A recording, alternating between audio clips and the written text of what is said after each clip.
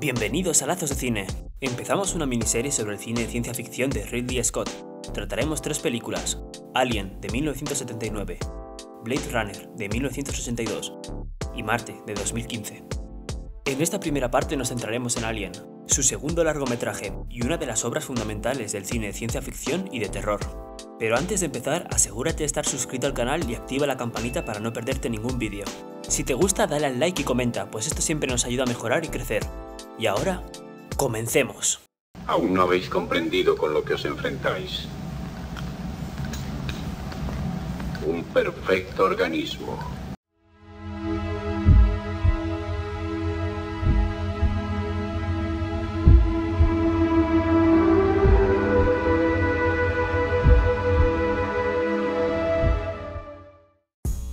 Para comenzar vamos a conocer un poco mejor a Ridley Scott. Como director debutó en Los Duelistas, estrenada en 1977. Ese año cumplía 40 primaveras, pero ¿a qué se debe ese debut tan tardío? Todo ese tiempo se lo pasó montando una gran empresa de publicidad, Ridley Scott Societies, junto a su hermano, el también director Tony Scott. Poco a poco fue ganando reputación entre las agencias de publicidad de todo el país por su innovadora forma de producir los anuncios, donde destacaba su puesta en escena. Esto es algo que destacaría en su filmografía en el futuro, ya metiéndonos de lleno en Alien, es difícil coger un fotograma de la película en la que el encuadre no esté lleno de pequeños detalles que llenen por completo la pantalla. Realmente quien hace de Alien una película inolvidable y que haya aguantado tan bien el paso del tiempo es la mano de Ridley Scott. Convierte lo que podía haber sido una película típica de serie B de un monstruo que quiere acabar con la vida de un grupo de humanos en un estandarte del cine de ciencia ficción y de terror. Tras los increíbles efectos visuales de 2001, Una Odisea en el espacio y el tremendo éxito de taquilla que fue Star Wars de George Lucas, la ciencia ficción, que hasta entonces había estado relegada a un segundo plano, empezó a ponerse de moda entre los grandes estudios. Fue precisamente Star Wars, estrenada dos años antes, la que despertó la curiosidad de Scott por la ciencia ficción, y no dudó en aceptar la proposición de 20th Century Fox de dirigir Alien. Al principio, Ridley Scott nos presenta la nave haciendo un lento recorrido por sus principales habitáculos y algunos de sus inquietantes y estrechos pasillos, para que nos vayamos familiarizando con el entorno donde se va a desarrollar la historia. Aquí vemos la diferencia de esta película con las anteriormente mencionadas. Mientras que en esas películas tiene una estética brillante y luminosa, con un enorme aspecto futurista, en Alien vemos una mayor contemporaneidad, como si fuese un futuro cercano. Y es ahí donde radica una de las claves de la película, que se hace presente tanto en la nave como en los tripulantes. El Nostromo parece una nave que ha pasado mucho tiempo en el espacio, por lo que se ve sucia y usada.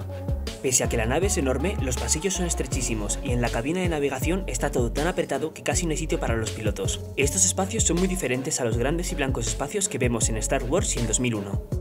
Por su parte, la tripulación no está formada por poderosos caballeros Jedi que tienen que salvar la galaxia o astronautas que descubrirán los grandes secretos del universo. No son valientes y guapísimos soldados adiestrados para afrontar cualquier tipo de eventualidad de forma heroica. No, el Nostromo es una refinería espacial y sus ocupantes por lo tanto no son más que obreros e ingenieros. Se les ha descrito muchas veces como camioneros del espacio, gente normal y corriente de clase media, que se preocupa por el tipo de cosas que la gente normal y corriente de ahora se preocupa. Ripley, quiero hacerte una pregunta. Si encuentran lo que andan buscando, ¿nos darán nuestra parte completa? No debes preocuparte, Parker. Los personajes son tan humanos y reales que sucumben al pánico e irán dando tumbos hasta acabar en los brazos asesinos del alien. Y cada uno de ellos morirá por una debilidad puramente humana. Kane debido a la curiosidad. Brett la inocencia. Dallas la imprudencia. Lambert cobardía y Parker indecisión. Otra cosa que hace única esta película es él, el alien. Ridley no quería que se viese como un monstruo cutre como en la mayoría de las películas de los años 50 y los 60. Para ello contó con el artista suizo H.R. Giger, que era capaz de mostrar la belleza del terror utilizando para ello el erotismo. Ahí es donde radica su originalidad. Fue el encargado de diseñar tanto al alien como al alienígena que se encuentran. A lo largo de la película apenas se le ve bien, salvo algunos primeros planos de su cabeza y otros más generales de cuerpo entero, pero montados con mucha rapidez. Para esas tomas se creó un traje especial para Volati Padejo, un estudiante de artes plásticas de origen masai, que medía más de 2 metros y era extremadamente delgado. El alien es la personificación del mal, es violento, salvaje y destructivo. Todo lo que hace lo hace por puro instinto. Representa el miedo a lo desconocido y a la paranoia de lo inevitable, ante lo que el hombre no puede hacer nada y se siente impotente. Según palabras de la propia Sigourney Weaver, encarna el lado más básico, oscuro y salvaje de nosotros mismos. Esto la hizo una película diferente en el mundo de la ciencia ficción de esta época, pero también fue un hito de las pelis de terror. Para ello Ridley, que ante todo es un gran creador de ambientes, nos sumerge en una atmósfera llena de humo, niebla, lluvia y viento. Y utiliza uno de los mejores recursos para crear terror. Prefiere sugerir que mostrar. La mente humana y la imaginación es mucho más potente que cualquier imagen que se nos pueda enseñar. Lo importante no es lo que se ve, sino lo que se cree haber visto, lo cual es mucho más aterrador. Es algo muy parecido a lo que hace Steven Spielberg con el tiburón en la película del mismo nombre. Para ello Scott utiliza el nostromo para ocultar al alien. Llenó el decorado con infinidad de tubos metálicos que simulaban o se parecían mucho a la cabeza y el cuerpo del alien adulto, de forma que en todo momento el espectador no sepa dónde está el monstruo escondido, y por lo tanto, este puede aparecer por cualquier lado. Eso crea gran inquietud y desasosiego, incrementando así la sensación de terror. La posibilidad de anular la explosión automática. También utiliza muy bien la iluminación y el sonido. En la película la luz va disminuyendo progresivamente, hasta los últimos 20 minutos, en la que la oscuridad se apodera totalmente de la escena, donde los protagonistas se mueven casi a ciegas. Esto hace ver al espectador que la situación se complica por momentos. Si añadimos la falta de luz a los estrechos pasillos de la nave, es difícil no sentir una sensación de claustrofobia. En el apartado sonoro, Ridley Scott utiliza muy bien el silencio como forma de crear tensión. En la escena cuando desaparece el alien en la cara de Kane, lo buscan en la habitación. Solo se escucha el ruido de la nave. Es cuando dentro de la habitación cae un objeto haciendo un ruido que rompe el silencio para engañarnos y asustarnos. Perdona. Es una manera de meternos más en la escena. Pasa algo parecido cuando buscan al alien con un aparato y creen que lo han encontrado, pero otra vez nos engaña, ya que se trata del gato.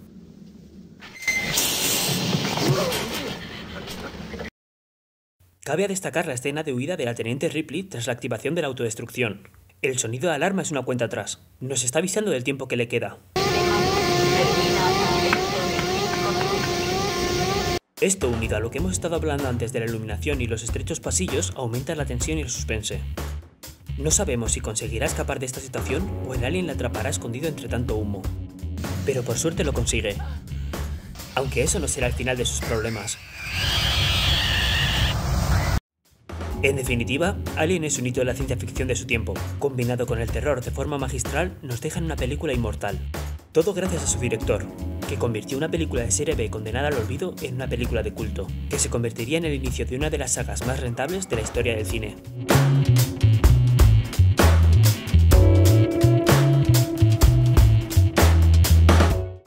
Y hasta aquí el vídeo de hoy. Si os ha gustado darle al like y suscribiros si no lo habéis hecho ya para no perderos ninguno de los próximos vídeos. Hasta la próxima.